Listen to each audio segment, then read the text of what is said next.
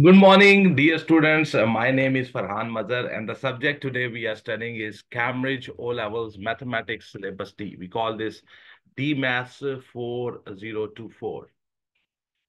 Today we have set our hearts to solve uh, paper 2 of this subject, and for this purpose we have selected October-November 2017 2-2 paper. This paper 2 belongs from the Zone 2. The time allowed for this paper is 2 hours and 30 minutes. In this paper, the calculator is allowed. In this video, I'm going to present you the solution of this paper. I hope that you will learn from this video and this video will be very helpful to you. So let's start today's uh, paper. So here we go.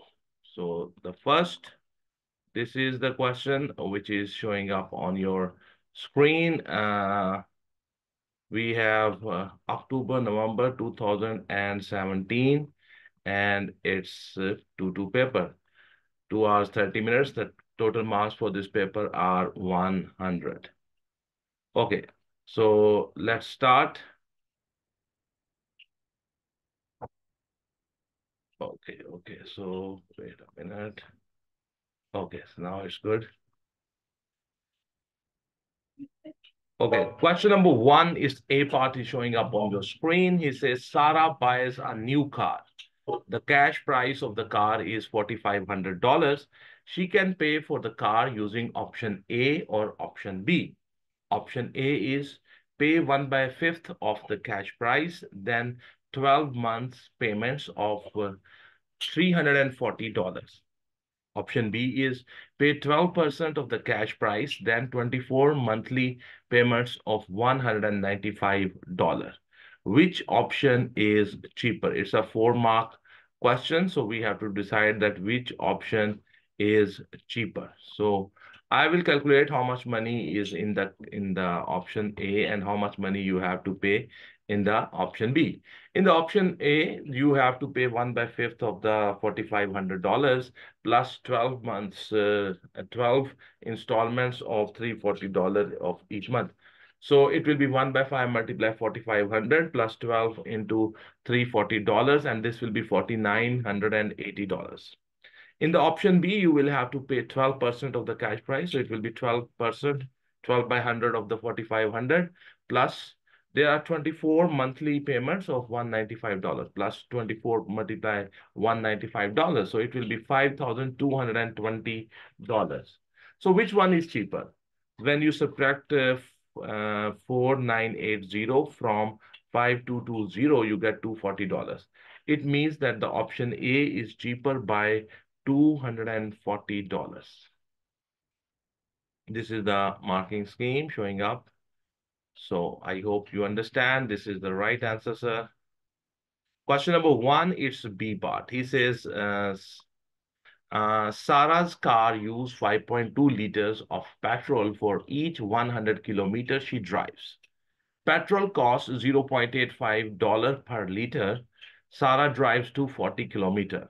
Calculate the cost of the petrol used for this journey and give your answer correct to the nearest cents. I'm going to use the method of proportionality.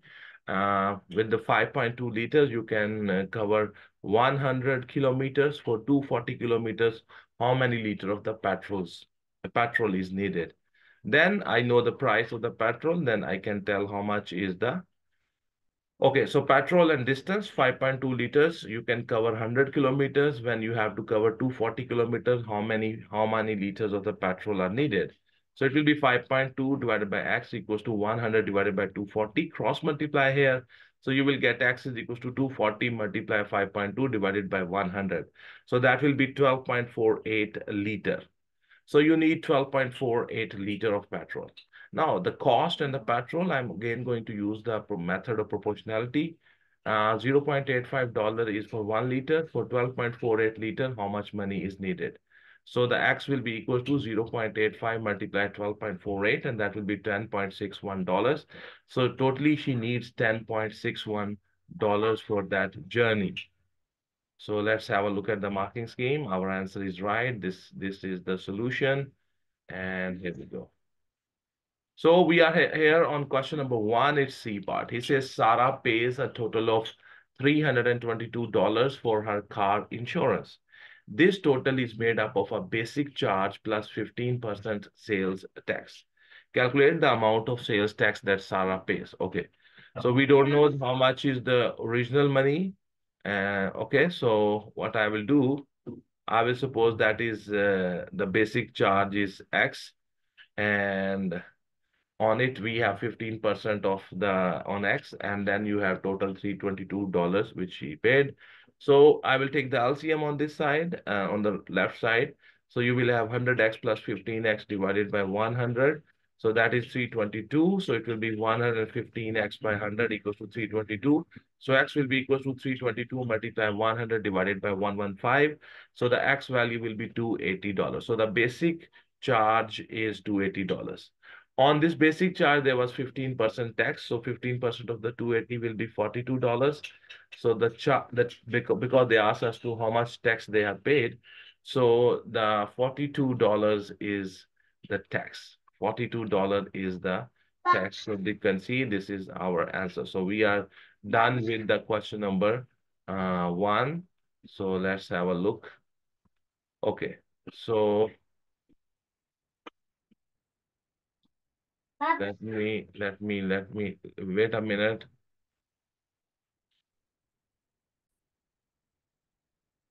So that was how the question number one is done. Okay, so now we are going to the next part. That is question number two. A company asked their employees how long they took to travel to work one day.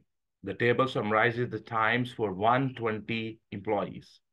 So here we have time and the frequency is given.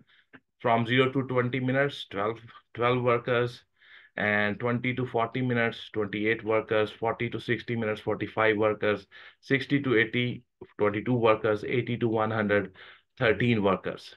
So they say cumulative, uh, complete the cumulative frequency table below.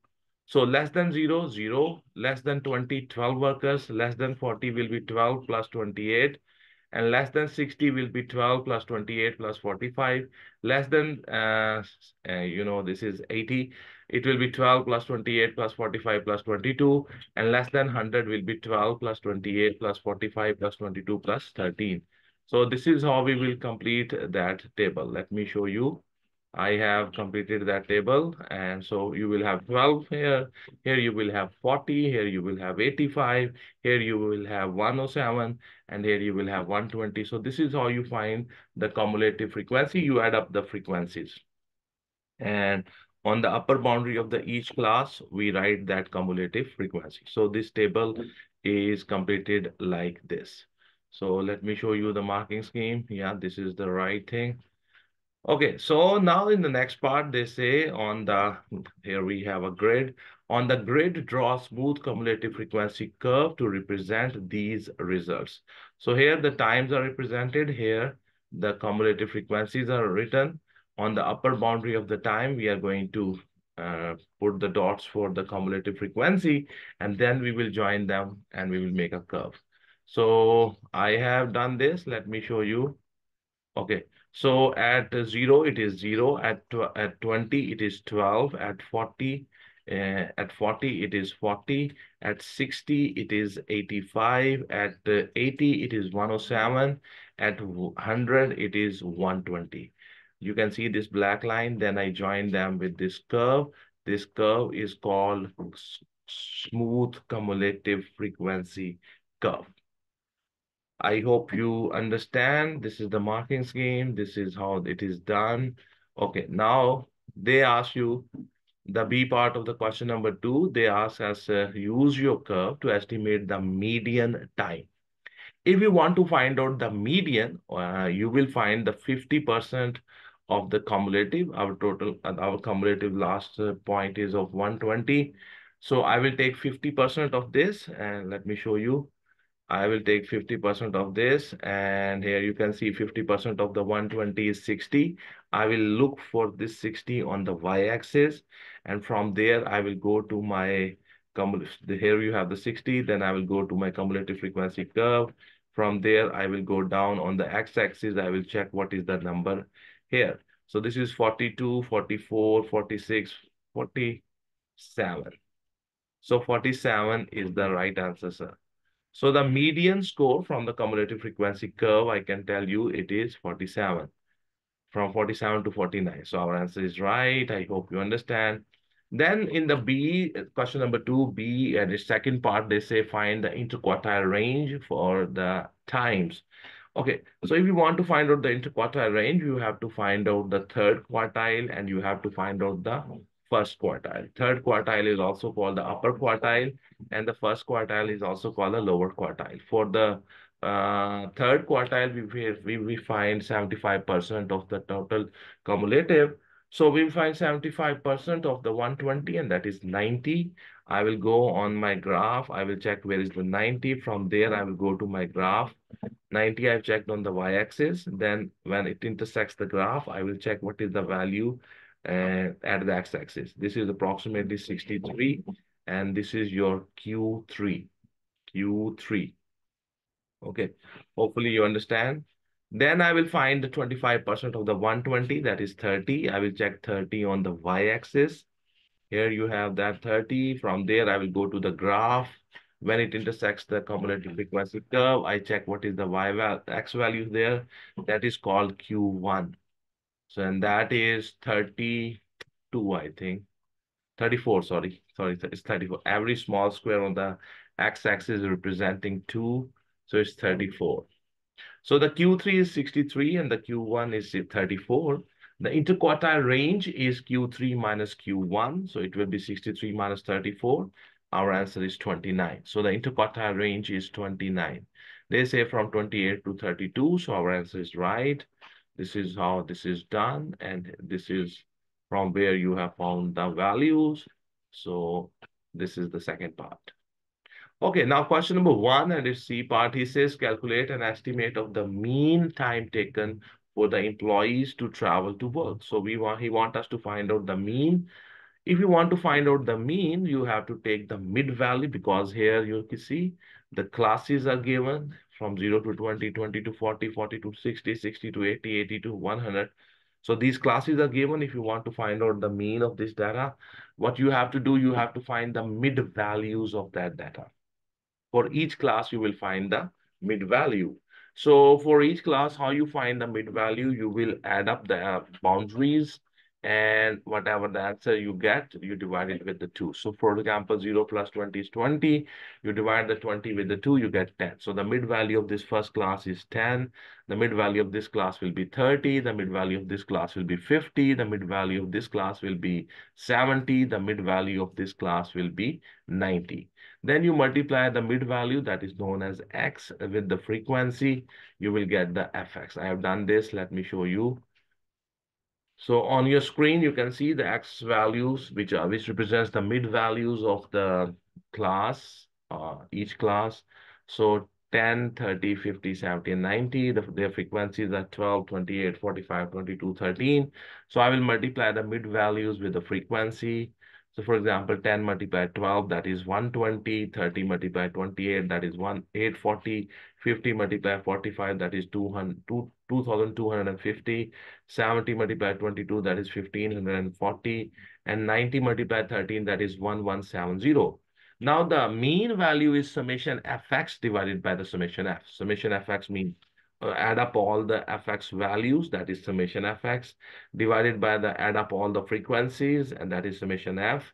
So when you add up all the fx, uh, in the, the sum is 5920, and the sum of the frequencies is 120. When you divide 5920 with the 120, you get 49.3. So our mean is 49.3.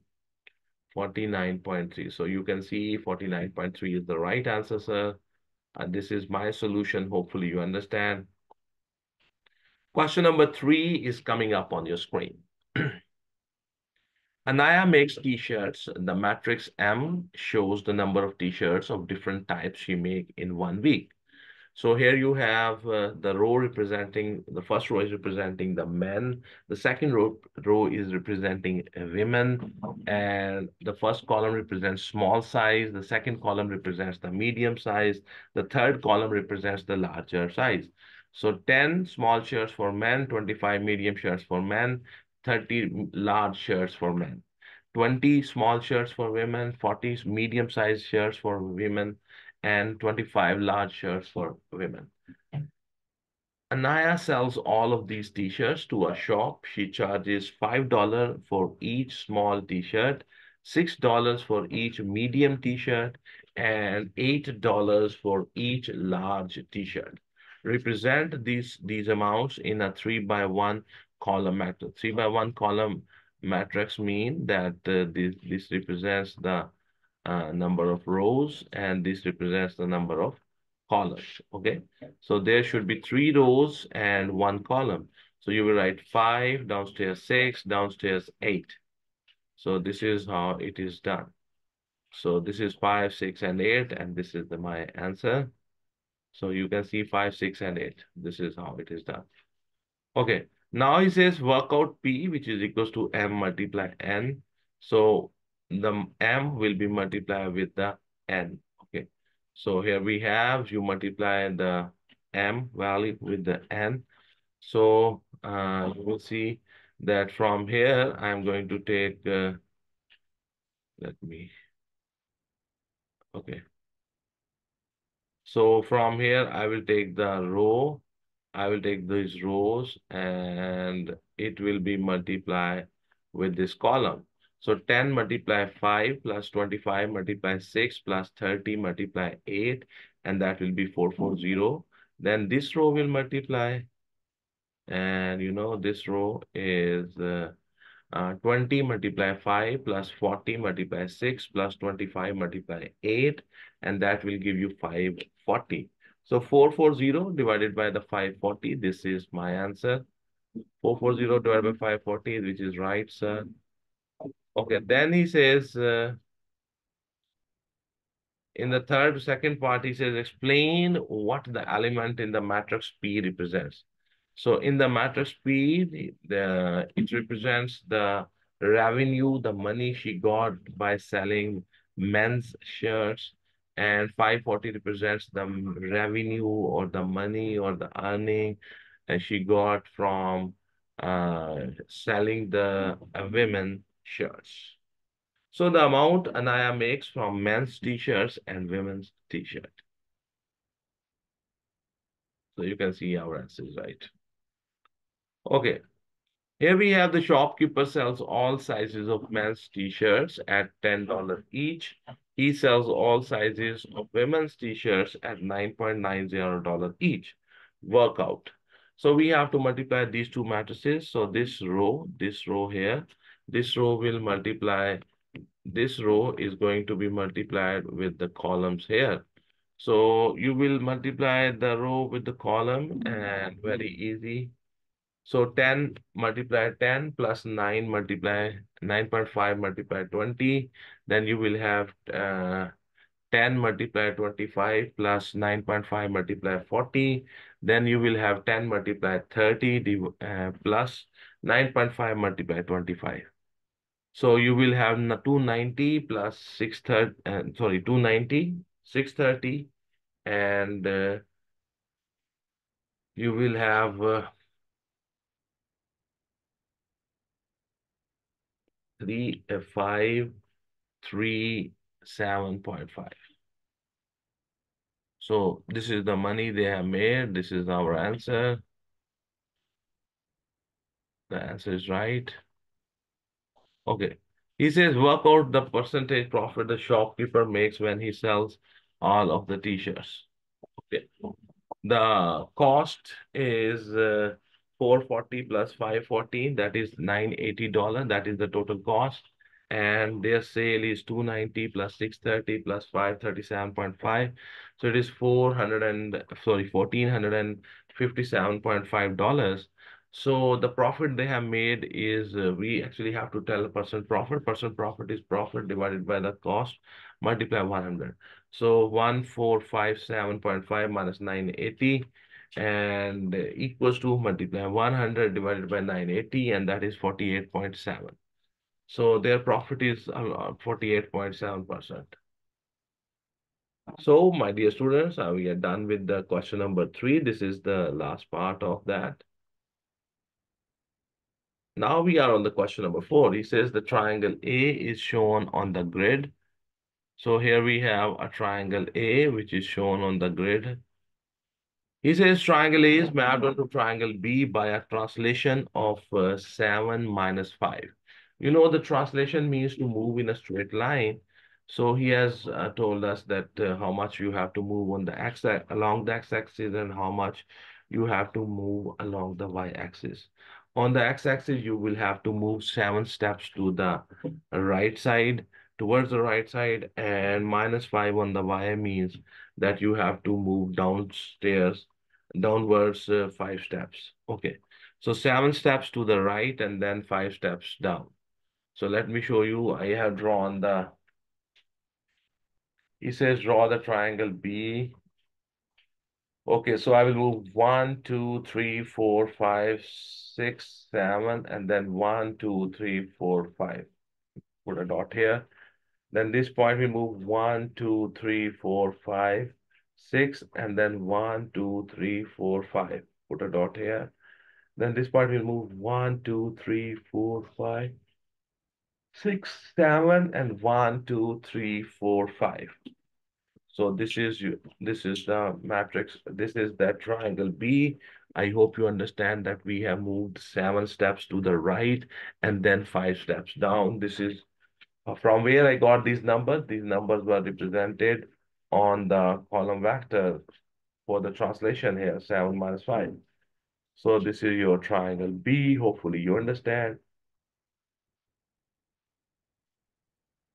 This is the answer for the question number B. Okay. In the second part, he says the triangle A, the triangle A is mapped onto triangle C by an enlargement of the scale factor minus 2. And the center of the enlargement is minus 1, comma 2. Draw and label the triangle C on your grid. So we have to do the enlargement. The center of the enlargement is minus 1, comma 2. So minus 1, comma 2. This is the center of the enlargement. Okay. Now Scale factor is minus 2. If the scale factor is minus 2, I will check uh, these three vertices. I will join this vertex with this center of the alignment and prolong it. And because the scale factor is negative, so its image will be on the opposite side to that of the of the center of enlargement. Where the object is, the image will be on the opposite side. For this purpose, I will join this vertex with this center of enlargement and prolong it this here, check its distance, multiply it with the 2 and move it on the opposite side. So you will get this dot. In the same way, join it with the center of enlargement, check how much is the length, then multiply it with the minus 2. So you will move uh, from here, you will start counting and you will move that distance on the opposite side. So we put a dot here.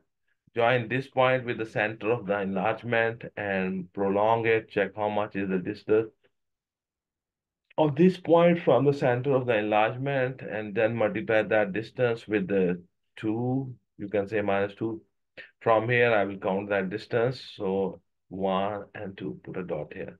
Then I will join these points with each other and this will be the C.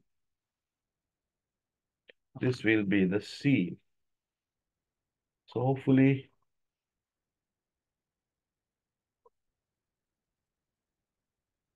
Okay, now we are going to the next question. The question number, and this is question number four. We are done with the. Okay, so due to the internet, uh, you know, internet, internet always takes a breath. So he has taken a breath. internet was up and down. Triangle P is shown on the grid. So here you have a triangle P. He says the stretch S is represented by this matrix 3001. The, the triangle, the triangle P is mapped onto triangle Q by the stretch S. On the grid, draw and label the triangle Q.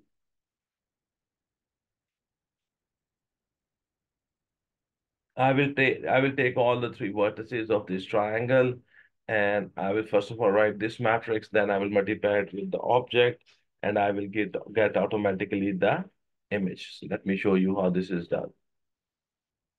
So as you can see here, the matrix uh, for the stretch is given, that is 3001. And the, I will note down the coordinates of this point, 1, 1.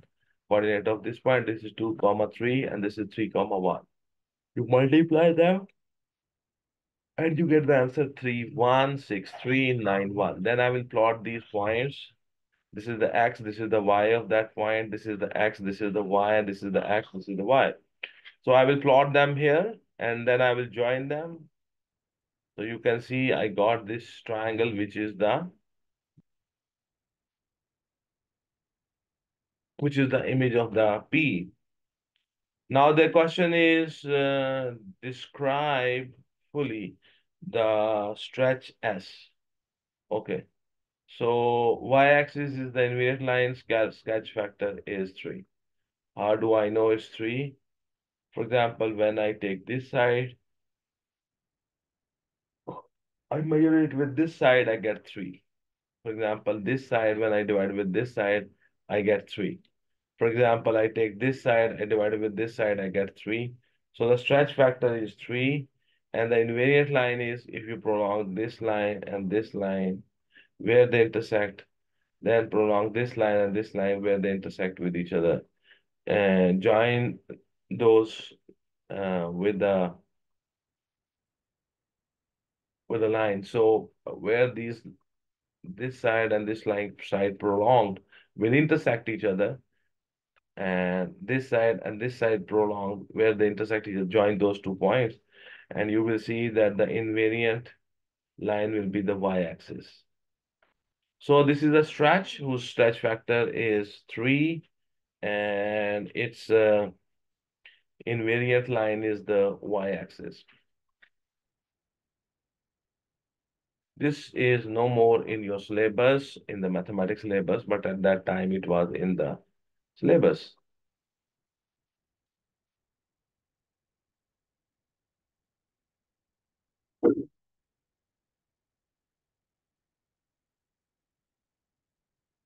So we are done with the question number four. Now we are going to the next question, and that is question number five.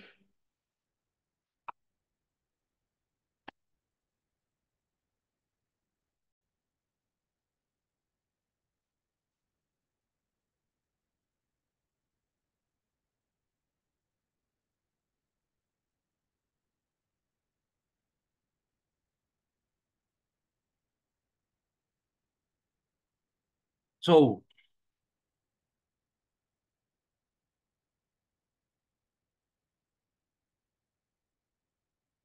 Okay, so we are on the question number five. It's A part, he says, express as a single fraction in its simplest form. Here we have two algebraic fractions. They are subtracting from each other. So what we'll do, we will take the LCM of the denominators. Both the denominators will come in the LCM. So we will have, uh, let me show you. Uh, here we have. So Okay, so both of them will come in the LCM. So upstairs you will have 4 bracket x plus 1 minus 5 bracket x minus 2. When you open it, it will be 4x plus 4 minus 5x plus, uh, 10. So downstairs it will remain as it is. So upstairs you will have minus x plus 14. Downstairs you will have x minus 2. And in the other bracket you will have x plus 1. So the final answer is 14 minus x. And in denominator you will have x minus 2 and x plus 1. So this is question number five, and it's uh, a part.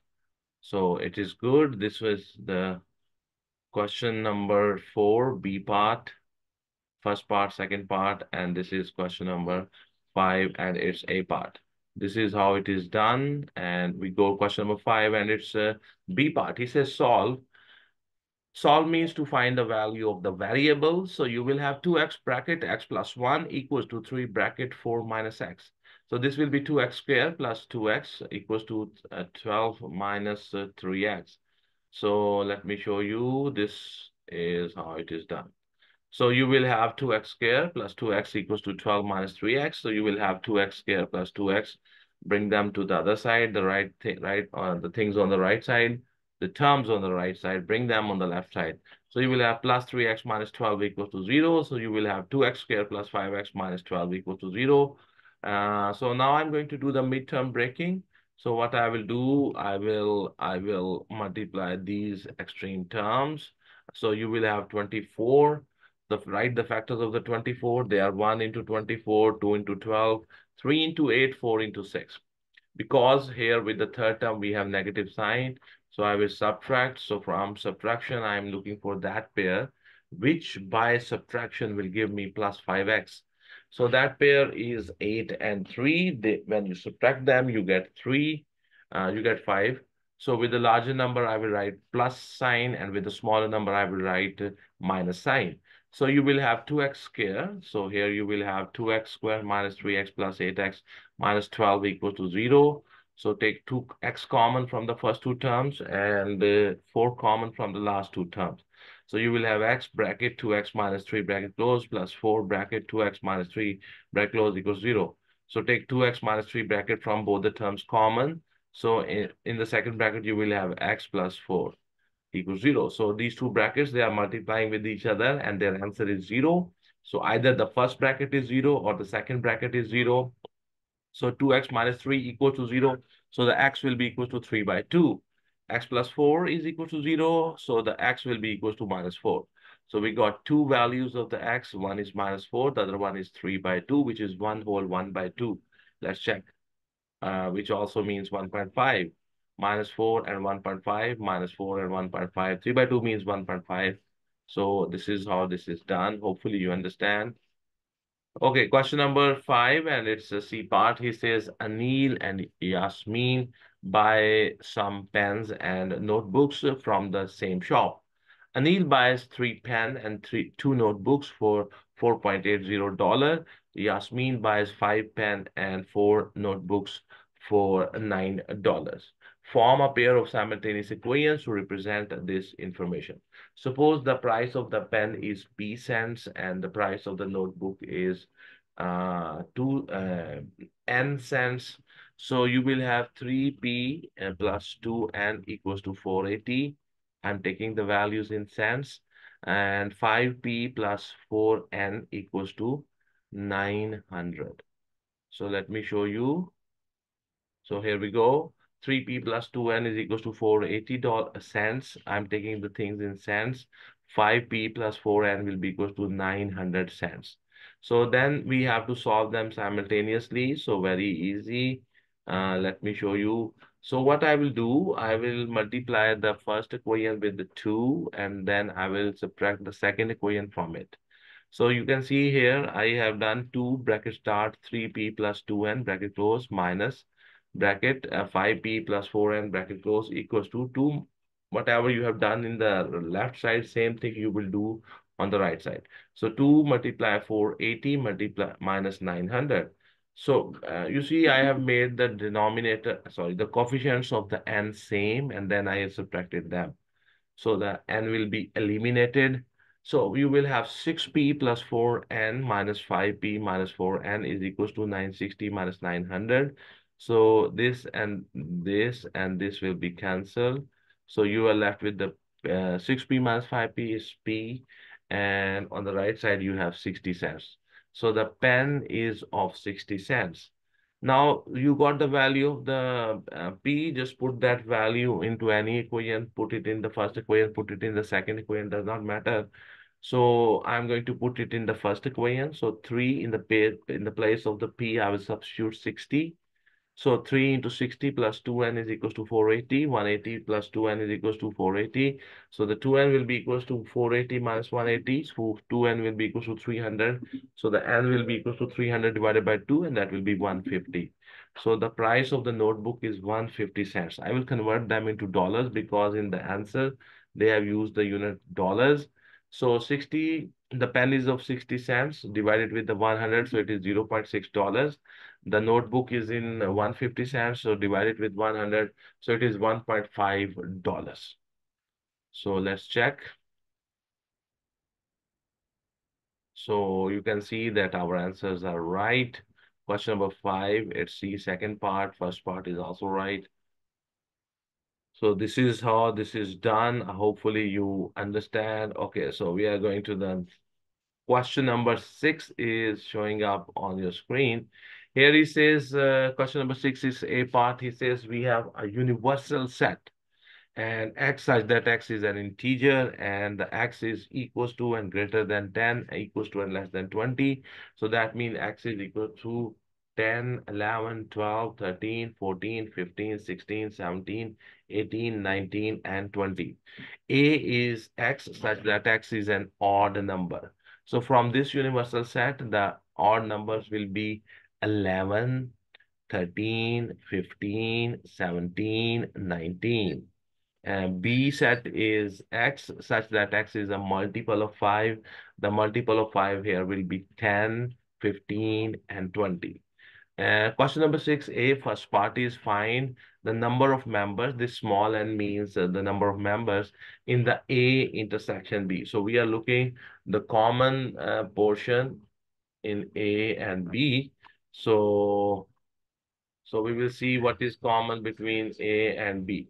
The common between A and B is only, if you can see 15. So there is one member in this set. So there is only one member in this set. So our answer is right. This is how it is done. Okay. Uh, question number six, A, and it's the second part. He says A complement union B.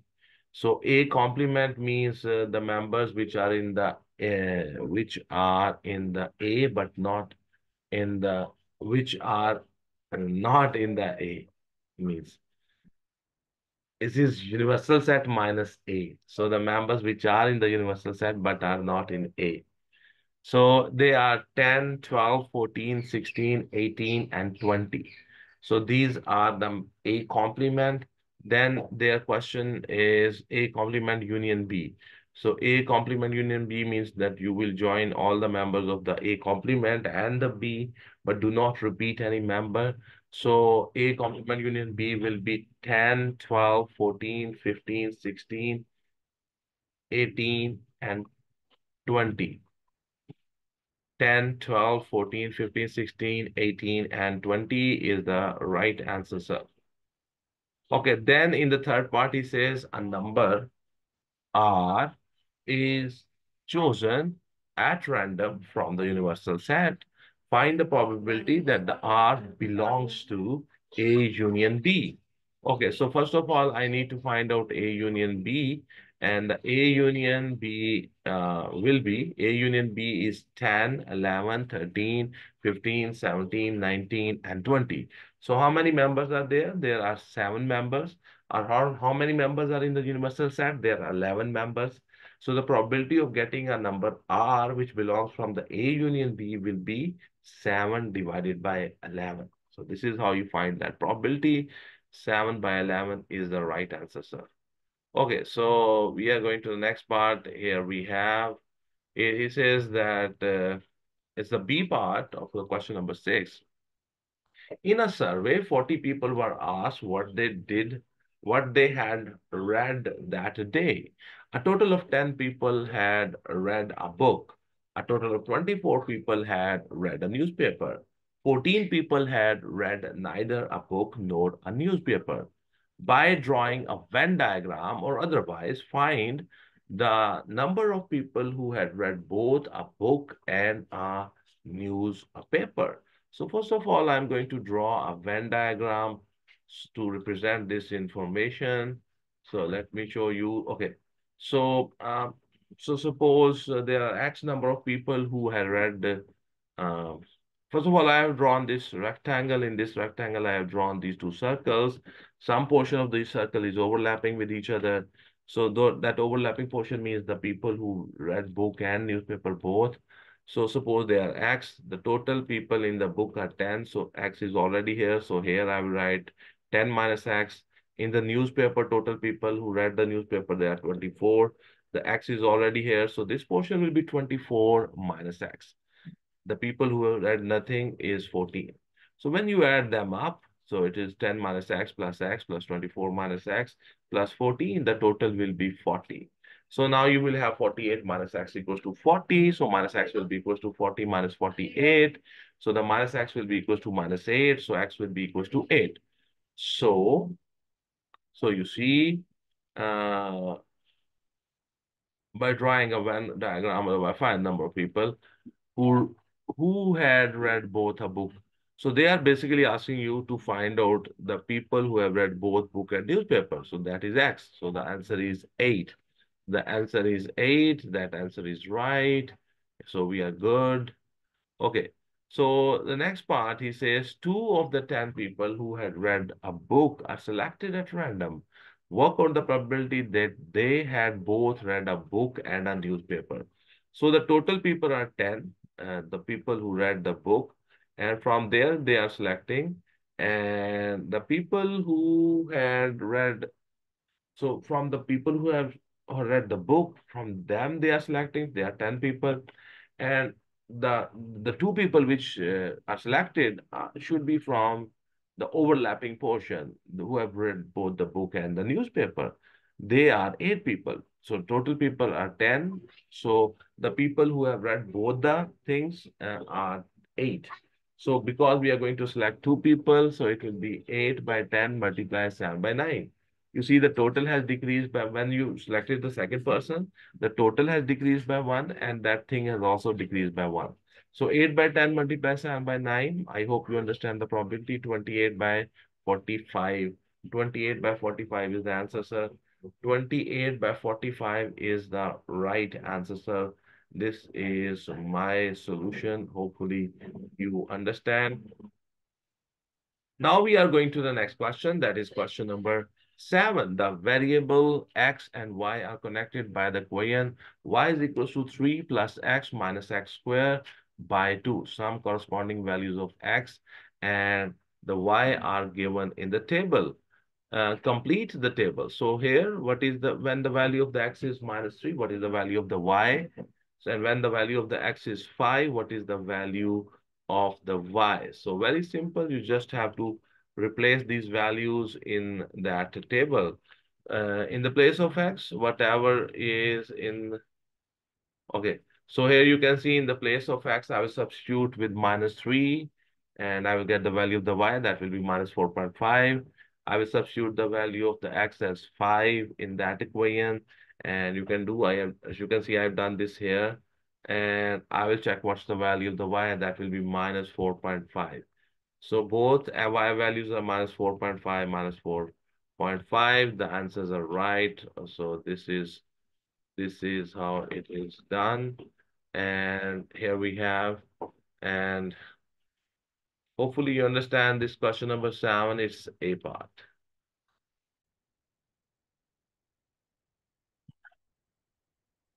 Uh, so the question seven is a part is done. Now we go to the next part. And in the next part, they say uh, the table, complete the table. We are done with this. Using a scale, he says using a, using a scale of two centimeter to one unit to draw horizontal axis from for minus three to five. The x values are going from minus three to five and two centimeter will be representing one. And using a scale of one centimeter to one unit, draw a vertical y-axis and the y on the y-axis uh, minus 5 and 5, okay? So draw the graph of y is equals to 3 plus x minus x squared by 2 for x values from minus 3 to 5. Okay, so very simple. We are going to draw this. Let me show you the grid which I have chosen. So the grid I am going to draw is here. So because X is three steps here and five steps here, so each two centimeter represents one on the x-axis. So one, two, three, four, five, minus one, two, minus three. On the y-axis, one centimeter represents one. So it is one, two, three, four, five, six. Downstairs, minus one, minus two, minus three, minus four, minus five, minus six. Then I have to plot at minus 3, minus 4.5, and at minus 2, minus 1, at, uh, at minus 1, uh, minus, uh, 1.5, I put this dot. At 0, you will have 3. At 1, you have 3.5. At 2, you have 3. At 3, you have uh, 1.5. At 4, you have minus 1. At 5, you have uh, minus 4.5. So these two dots.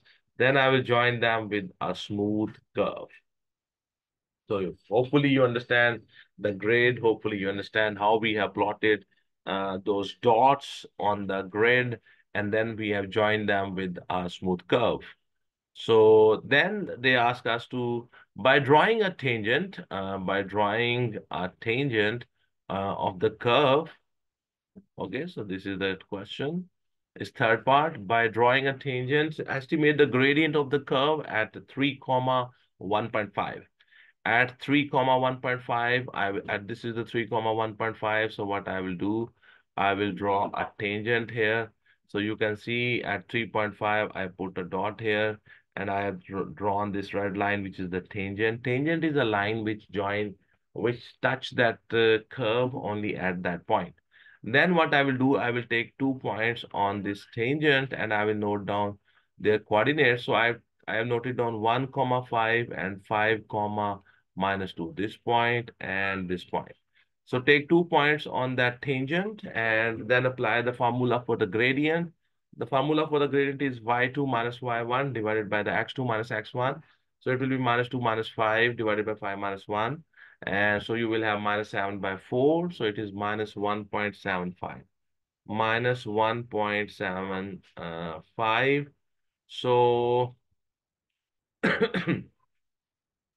it says from minus 2.4 to minus 1.5. So our answer is in this range. So our answer is right. Hopefully you understand how this is done. Okay, now we are going to the uh, fourth part. The points of the intersection of the graph y equals to 3 plus x minus x squared by 2 and the line y equals to k are the solutions of this equation. This equation, this is 10 and 10 plus 2x minus x squared equals 0 find the value of the k. So this is the equation. This is the equation whose graph we have already drawn there. This is that curve. So I will, uh, from that on the left side, I will try to make this, uh, the equation of the curve. This equation is given to us. This is the equation of the curve whose graph I have drawn. So I'll write this equation here. And then from this, on the left side of this, I will try to make this equation whose graph is already there. So this is 10 plus 2x minus x squared equals 0. So I will divide both the sides with the 2. So you will have 5 plus x minus x squared by 2. From this 5, I will take 2 so that 3 will be remaining here and that 2 will go on the other side. So I have my I have subtracted 2 on both the sides. So you will have uh, 5 minus 2 plus x minus x squared by 2 equal to 0 minus 2. So 3 plus x minus x squared by 2 uh, equals to minus 2. So now you see this is the equation of that curve whose graph is there. The left On the left side, I have made that equation. And whatever is on the right side, that will be equals to y. That is the equation of the line. So y is equals to minus 2. They said it will be y equals to k.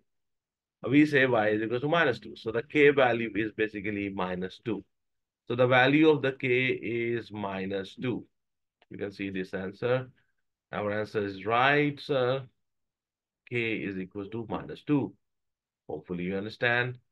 It's a little tricky thing. By drawing the line y is equals to k on your graph, find the solution of this equation. So y equals to 2 line, I will draw on the graph. You can see here. So y equals 2 is this horizontal line, y equals to minus 2, sorry. I said 2, it's y equals to minus 2. So when you draw this line, so wherever it cuts your main graph, you check what is the x value of that point of intersection.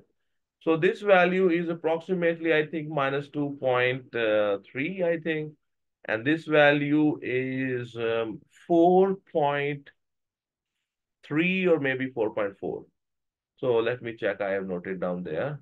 So one value of the x is minus 2.3 and the other value is uh, 4.35. So our answers are right. So this is how this is done, how you do it. You, you have drawn this line, you have checked the point of intersection of the curve and this line, and you have checked the x coordinate of the point of intersections. Okay, now uh, we're done with this. Okay, so we are going to the next part. Here we have, he says, this is the sketch, this is the B part. This is a sketch of the graph y is equals to p a raised to power x, where a is greater than 0. The graph passes through the points 0, comma 4 and 2, comma 36. Write down the value of the p. If you want to find out the value of the p, very simple. In the place of x and y, substitute these, these two points, uh, this, these coordinates. So in the place of x, put 0. In the place of the y, put 4. You will automatically get the value of the p. So you see y is equal to p a raised to power x. In the place of the y, put 4. In the place of the x, put 0. So you will have 4 equals to p bracket start a raised to power 0. a raised to power 0 is 1. So 4 is equals to p multiply 1. So p will be equals to 4. So now we know the value of the p. Then their question is find the value of the A. Then their question is find the value of the A. So now I will put this uh, 2 comma 3 6. In the place of x, I will put uh, 2 and in the place of uh, y, I will put 36. Uh, so that equation is y and we know p value is 4. So y will be equals to p a raised to power x. So y is equals to 4 a raised to power x. In the place of y, I will put 36. In the place of x, I will put 2. So you will have 36 divided by 4, that is 9. So a square is equal to 9. Take square root on both the sides. So a will be equals to 3. So the a value will be 3.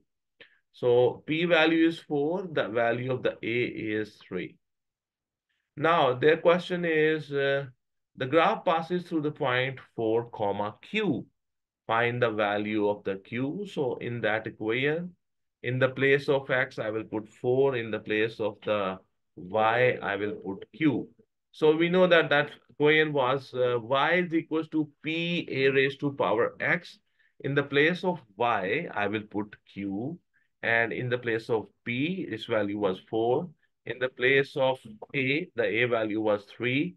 And in the place of x, I will put uh, in the place of y, I will put q. In the place of x, I will put 4. Okay, so 3 raised to power 4, that means 3 multiplied 3 multiplied 3 multiplied 3. That is 81. So q will be equals to 4 multiplied 81, that is 324.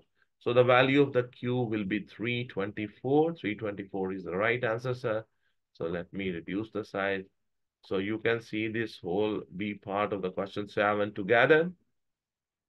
I hope that this question, uh, you are able to understand how this is done. Okay, so here we go, question number eight. Here he says, here we have two concentric circles. Concentric circles means their center is the same point. So this is a smaller circle, okay, and this is the bigger circle. Their center is same, okay the diagram, he says the, the diagram shows two circles, each with the center O. A, B, C, and D are the points on the circumference of the large circle. E, F, G are the points on the circumference of the small circle. C, G, D, and C, F, B are tangents to the small circle. Line A, E, O, C and F, G intersect at 90 degree at X. G, O, X is Y. Find each of these angles as, let me increase the size so now you can see. So this is the diagram. Their question is find each of these angles as simply as possible in terms of y. Give reasons for your answer. So basically they are asking us to find out GEO. So they are basically asking me to find out this angle, GEO. So you can see in the small circle, uh, you can see um, This is the angle at the center, and this is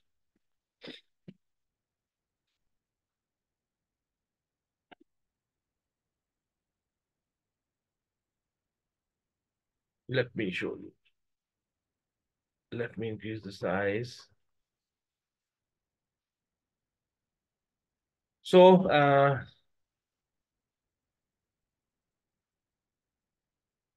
this chord angle at the center is 2y. This full angle will be 2y. This angle will be angle at the circumference. That will be half of this. And you for because this line bisects this angle, so this angle will become y by 2.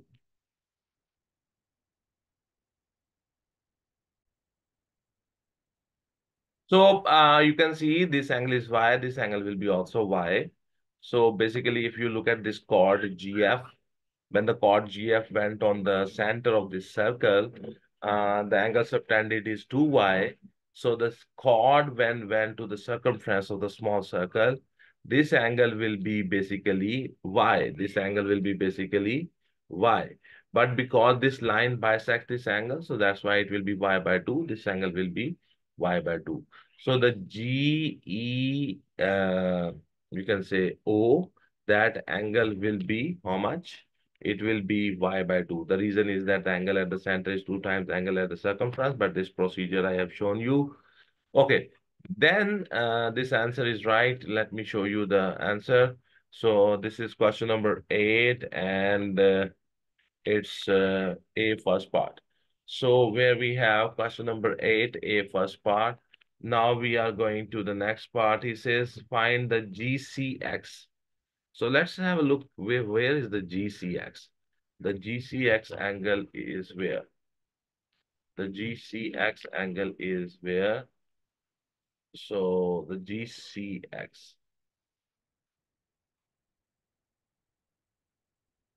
So basically they are asking you find out this angle. You know, this is tangent to this circle. So this angle is 90. The tangent makes 90 degree angle with the with the radius there. So this is 90, this is y, this is the angle which they are asking you to find out. So it will be not that difficult. So GCX plus 90, I'm, I'm going like this, Y 90, and this question is question. This is the question. This angle is question, GCX. Okay. So GCX will be 90 minus Y. The reason is G, GCX plus 90 plus Y is equals to 180. So the GCX will be equals to 180 minus Y minus 90, and that will be 90 minus Y. The tangents makes 90 degree angle with the and the tangents make 90 degree angle with the radius, and the sum of the triangle is uh, 180. So you have to write these reasons, okay? So hopefully you understand.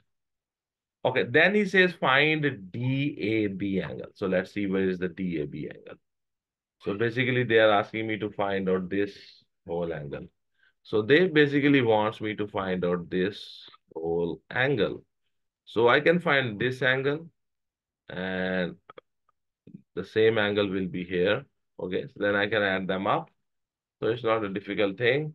So you see, I know this angle, I know this angle, I can find this angle. Once I know this angle, then I will double it. So it will be uh, DAB angle. Okay, so the DAC plus 90 uh, 90 minus Y is equals to 180. This angle is 90 minus Y, this angle is 90, this angle is question, okay? Because it's a big right angle triangle, so DAC plus 90 uh, plus uh, uh, 90 minus y is equals to 180. So you will have DAC equals to 180 minus 180 plus y. So the DAC angle will be y. The DAB angle will be 2 times the angle of DAC. So 2y. So DAB angle is 2y. You see uh, why this angle is 90? Because, you know, this is the diameter of the big circle. So the angle D is 90. The reason is that the angle in the semicircle is 90 degree. I know this angle, then I found this angle, then I doubled it. DAB I found, okay? So this is how it is done. You will have to write the logic also. So I hope you understand. Angle in the semicircle is 90 degrees. So this is how this is done. A little, this one is a little heavy question. Complete the sentence. The triangle EGC is congruent to the triangle. So they are saying E, G, C. So congruent to this will be E, F, C, I think. I hope. E, F, C, yeah. You see this side, this side, this side, this side, both the tangents are equal. Both these angles will be equal. So this side will be common. So he says prove that the triangle uh, ADC is similar to, to the triangle OG, uh, the triangle OGC. Give a reason for each statement. So basically they are asking they are asking you to write uh, triangle ADC. What is, where is ADC? ADC, this big triangle. Okay. And OGC. OGC why they will be uh, similar. This angle is 90. This angle here is 90. This angle is common in both the triangles. So the two angles in those triangles are common. So angle ADC and the angle OGC both are equal to 90 degree. So right angle in the semicircle. This is just one reason. And tangent makes 90 degree with the radius. Okay, DCA and the GCO, they are common angles. So the triangle ADC is similar to the triangle OGC. The reason is angle-angle similarity test. The reason is angle-angle similarity test. Okay. Okay, so we are going to the next part. He says, what special type of quadrilateral is AOGD? A, O, G, D. These two sides will be parallel because this angle is 90, this angle is also 90. So they are parallel lines and these two sides are not parallel. So they are making a trapezium. So the O, A, O, G, D is a trapezium. So our answer is right. Then he says, uh, find the ratio their question is find, find the ratio. That is the E part. Find the ratio. Area of the triangle OGC and the area of the triangle ADC. Area of the triangle OGC and ADC. You know, this side is radius and this is 2 radius because this is the diameter of the big circle. This is the radius of the big circle. So because they are similar to each other, so the areas ratio will be equals to uh, the square of the ratio of their areas, uh, their sides, sorry. So one triangle is side is only capital R, the radius of the big circle. I, I just named it capital R. Okay. And the other triangle in that, the same side is 2R. It's the diameter of that big circle. So r square, r square cancel. So you will left with 1 ratio 4. Because both the triangles are similar to each other, so the ratio of their areas is equals to the square of the ratio of their sides. It will be 1 ratio 4. 1 ratio 4 is the right answer, sir. Okay. Now their next question is find the area of the triangle OGC and area of the quadrilateral ABCD. OGC and ABCD. So you know the area of this triangle and the area of this small triangle. If you double the area of this big triangle, you will get the area of that quadrilateral OBCD. Okay, so we know uh, the area of the OGC is 1 and it is it is 2. So if you double this this triangle, that will be that quadrilateral. So 1 ratio 8. 1 ratio 8. If you double this triangle, you will get the ABCD triangle uh, sorry, quadrilateral. So that's why I have doubled this area. So it's 1 ratio 8. The, the ratio between the areas will be 1 ratio 8. 1 ratio 8. Hopefully you understand what I'm talking about. Okay. So we are going to the next question. The next question is question number 9. It's A part. He says the ventilation shaft of a tunnel is in the shape of a cylinder. The cylinder has a radius of 0.4 meter and the length 15 meter calculate the volume of the cylinder. So the radius is given, the length of the cylinder is given. You can find the volume. The volume of the cylinder is pi r square h. So you see pi r, volume is equal to pi r square h. So volume is equal to pi multiplied 0.4 square multiplied 15. So when you do this in your calculator, you get 7.54. 7.54 is the right answer, sir. This is question number nine and it's A part. We are right. This is my solution. Okay, we are going to next part. Uh, question number nine is B part. He says the diagram shows the cross section of the tunnel. The cross section of the tunnel is a major segment of a circle center O. The radius of the circle is 4.5 meter and the angle AOB is 110.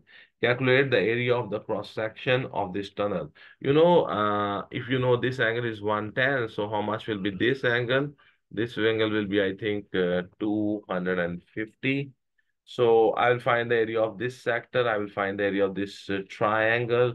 I will add them up and that will be the area of that whole thing. So this is a four marks question.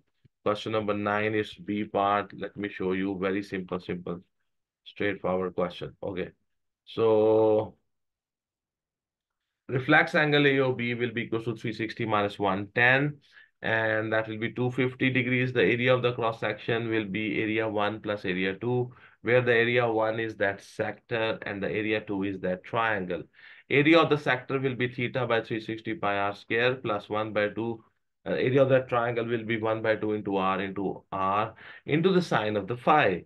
So you will have 250 divided by 360 multiply pi multiply 4.5 square plus 1 by 2 into 4.5 into 4.5 into sine of 110. So when you do this calculation, you get to 53.7. This is a four marks question. 53.7 is the right answer, sir.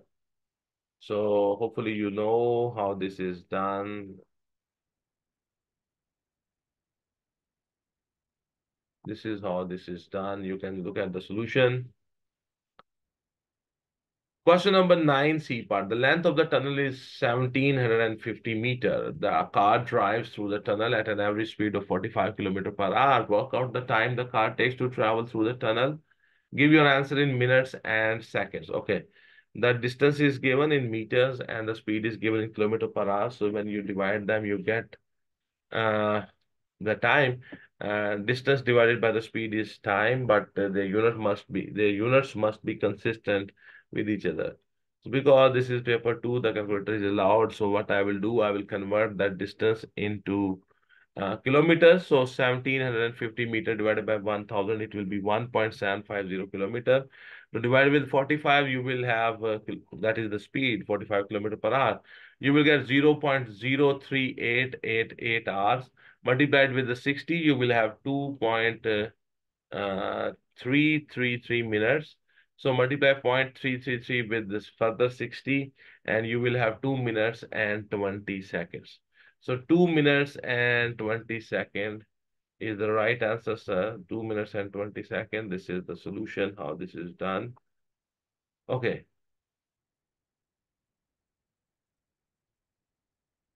The diagram shows the positions of tunnel entrance T and two road junctions P and Q on the horizontal ground. I know this side, QT, I know the PT, I know this angle. The Q is due north of the P and T is on a bearing of 62 uh, from P. PT is 450 and the QT is 720 meter. Calculate the bearing of the T from Q. So basically he is asking me to find out this angle. Okay. So I can find out this angle. First of all, I will find out this angle by using the law of sine. I can find this angle. Let me show you. So what I'm going to do is, okay. So sine of, let me say this is theta. So sine of theta divided by 450, law of sine I'm using, sine rule equals to sine 62 divided by 720. So sine theta will be equal to 450 multiplied by sine 62 divided by 720. So sine theta will be equal to 0 0.5518. Theta will be equal to sine inverse of 0 0.5518 and that will be 33.49. Now the bearing of, once I know this angle, the bearing of the T from Q will be from here to here, it is 180. So you have to remain less than uh, 33.49 degrees from 180. That will be the bearing of the T from Q. One, 180 minus 33.49 and that is 146.51. So 146.5 is the answer.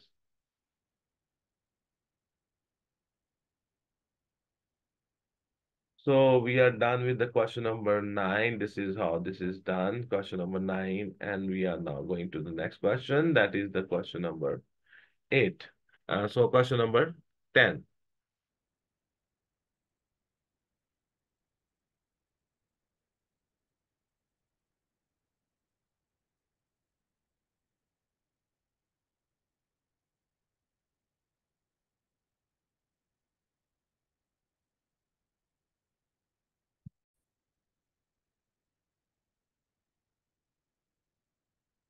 So now we are on question number 10. A rectangular picture ABCD is placed inside a rectangular frame. So here you have, uh, uh, this is the picture, this is the frame. This length is, this width is X. The length AB of uh, the picture is three times its height. Uh, which is x. Okay, so this is x and this is uh, three times of the x. So this is AB is 3x. So this outer dimension will be x uh, plus 4 and this dimension will be x 3x uh, plus 4. Let me show you from here the diagram I have I have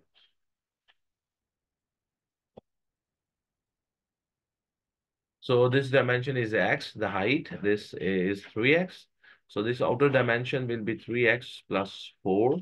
Why 4? Because 2 on this side, 2 on this side. So this is 3x plus 4. This side will be x plus 4. Now the question is the length AB of the picture is 3 times its height x and the width of the frame is 2 centimeters. The total area of the picture and the frame is 476 centimeters square form an equation in X and show that it simplifies to this. Okay. So what I'm going to do is uh, the outer dimensions, uh, I will multiply them. So that will give me the area of this whole rectangle. So x plus 4 multiply 3x plus 4, and that is 476. So you will have 3x, uh, 3x square and uh, plus 4x plus 12x plus 16 equals to 476. So 3x square plus 16x plus 16 minus 476 is equal to 0. So you will have 3x squared plus 16x minus 460 equals 0. So this was the equation which you have to show. Hopefully you understand, hopefully you understand how these dimensions are written. So this was that the first part. So we have done it correctly. Okay, then we go to the next part and that was a four marks. Now the B part is a three marks. It says solve this equation uh, 3x squared plus 16x minus 460 equals 0 and find the value of the x. Simple. So we will apply the quadratic formula here. We are going to apply the quadratic formula. You know the quadratic formula is uh, here the a, the coefficient of the x squared is 3. The coefficient of the x is 16. And the constant term is minus 460. The quadratic formula is x is equals to minus b plus minus under root b square minus 4ac divided by 2a. Substitute the value of the a, b, and the c here. And when you will do this calculation, at the end, you will have two options. x will be equals to minus 16 plus 76 equals to divided by 6 equals to, and that will be 10. And the second option will be x is equals to minus 16 minus 76 equals to divided by 6 equals to, and that will be minus 15.3. So the x values will be minus 15.3 and the 10. So the x values are minus 15.3 and 10. So you can see this answer is right. Okay, so this is the solution. You can pause the video if you want more time with it.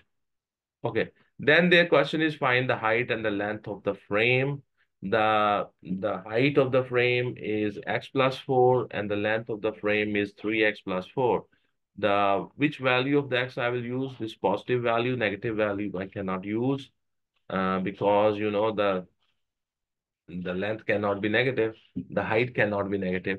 So the height of the frame is x plus 4. So it will be 10 plus 4. That is 14 centimeter. The length of the frame is 3x plus 4. So it is 3 into 10 plus 4, that is 34. So the 30, 14 and the 34. So our answer is right, sir. Okay, so the D part, uh, we are going to the D part now. He says the frame is made from wood. The wood is 5 millimeter thick. The mass of 1 centimeter cube of the wood is 0.7 gram. Calculate the mass of the wood used in the frame. It's a three marks question. So I know the the volume, uh, the the area of the frame, which is made of wood, is will be A2 minus A, A1 minus A2. A1 is the area of that full rectangle, the big rectangle. Area 2 is the area of that uh, photo there. So it will be 14 into 34 minus 10 into 30. So 476 minus 300. So 176 centimeter square is the area. So the volume of the wood will be the area of the wood multiplied by the thickness of the wood. And uh, but the thickness is in millimeters and the area is in centimeter square. So make their units same. So what I will do, I will divide the 5 millimeter with 10. It will be converted into centimeter. So the volume of the wood will be, you know, uh, uh, 176 multiplied 5 divided by 10. It will be 88 centimeter cube. The density of the wood is given. It is 0.7 grams per centimeter cube. So our volume volume of the wood is 88 centimeter cube. So what is the mass? The mass is equal to density multiplied volume. So you will have 0.7 multiply 88 and that will be 61.6 grams. 61.6 gram is the answer, sir. 61.6 gram is the right answer. You can look at the marking scheme. So this is how we have done this. Let me reduce the size so you can see. Uh, now the whole, this part is showing up on your screen. Hopefully you understand this, how this is done. Okay, so now we are going to the next question. The next question coming up on your screen is question number 11 and here we have a pyramid in the center of the pyramid we have this uh, post which is ypx so he says so here we have a vertical mast here we have a vertical uh, mast xy is positioned on horizontal ground the mast is uh, supported by four cables attached to the mast mast at P and to the ground at points A, B, C, and D. Y is the center of the square A, B, C, D. Uh, PY is 7.50 uh, meter. The vertical height of this uh, pyramid, you can say, is from P to Y is 7.50 meter. Given that, that the AB is 3, this is a square, ABCD is a square, okay? The side of the that square AB is 3.65 meters, so the BC is also 3.65 meter. Show that we have to show AY is 2.58 meter, correct to three significant figures, the three marks question. Okay, the method is very simple. I will uh, apply Pythagoras on the ABC triangle. It's uh, is a right angle triangle. I will find the value of the AC.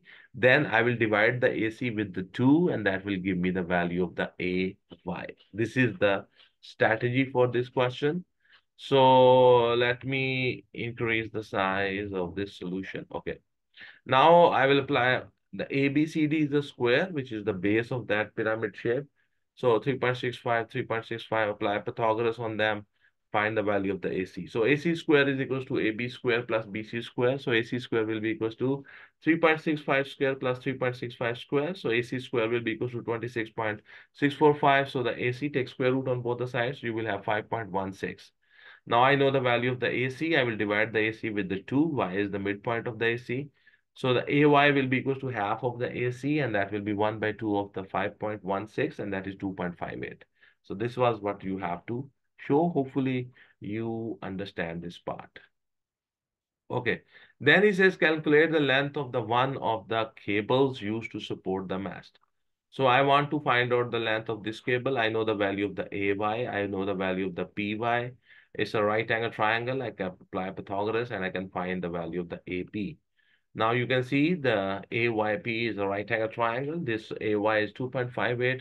The PY is 7.5 meter. I will apply the Pythagoras here. So the AP whole square will be equals to AY whole square plus PY whole square. So the AP whole square will be equals to 2.58 square plus 7.5 square.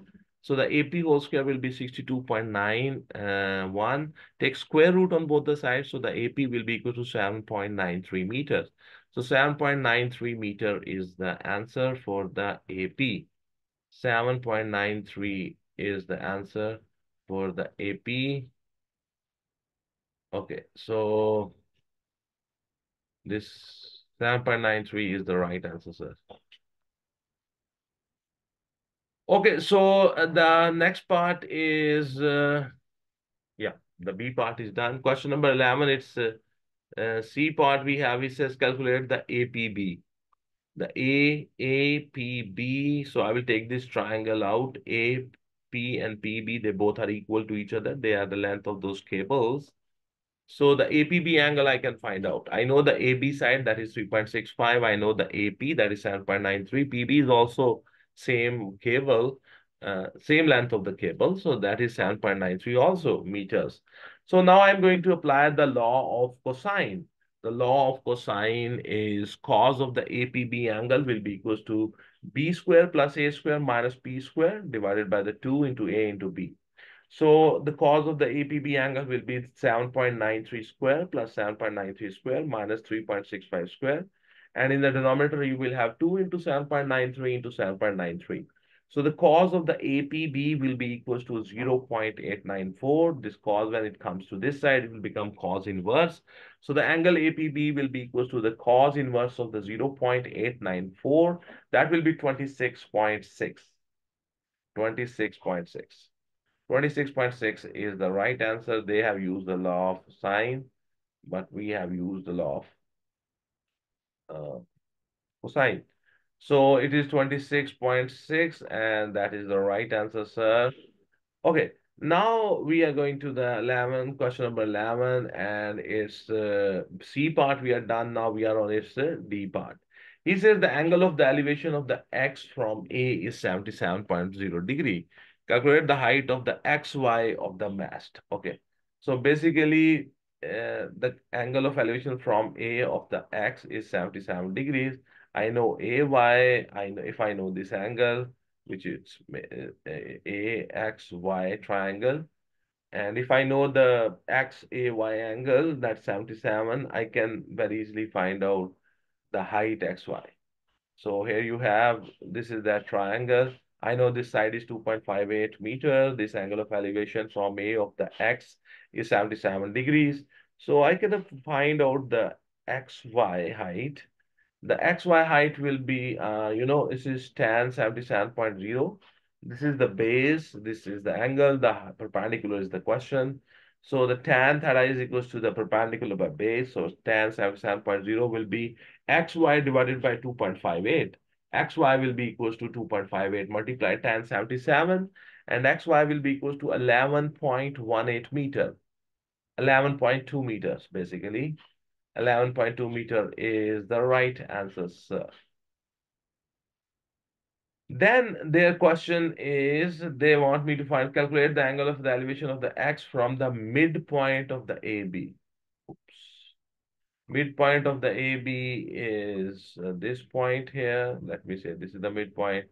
So from this midpoint to Y will be half of the BC and I know the height, then I can find the angle of the elevation. So the midpoint uh, of the AB, so the MY distance will be half of the 3.65, so that will be 1.825. And then this is that that triangle, XY height is, we just found it, 11.18 or 11.2, you can say. And this angle of elevation I want to find. This side is 1.825. So tan of theta will be equals to the perpendicular base, that is 11.18 divided by 1.825. So theta will be equals to tan inverse of 6.126, and that will be 80.73. So the theta is 80.73. So 80.73 is the right answer, sir. Let me reduce the size so you can see this whole page together. So this is how we have solved this, okay? So we are done with the question number 11 and this paper is also completed. So, uh, my dear, dear uh, students, uh, today we have done, you know, October, November 2017 2-2 paper. And this paper, you know, was paper two. This was from the zone two. In this video, I have presented you the solution of this paper to the best of my knowledge and my abilities. I have I have tried to write the solutions and I have also tried to describe the process, solutions, calculations, formulae, so I hope that this video will be helpful to you. If you find this video useful, if you think that this video can be helpful to your class fellows, your junior students, your teachers, please share the link of this video with them.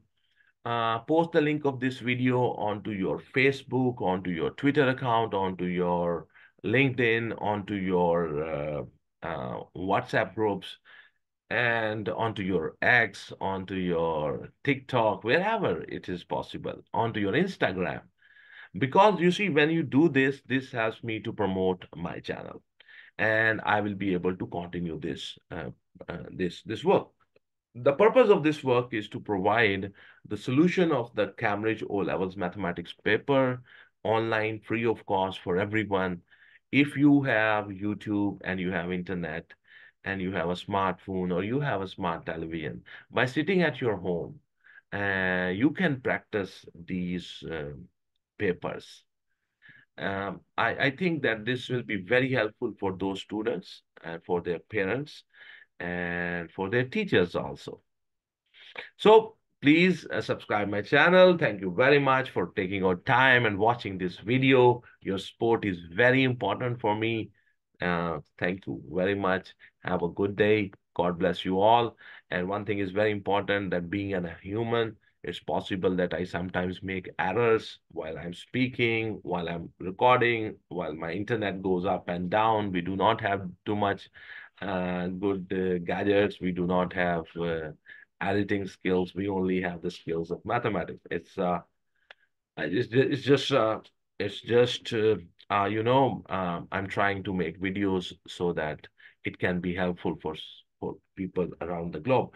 So thank you very much for your support. Have a good day. God bless you all. Keep studying hard.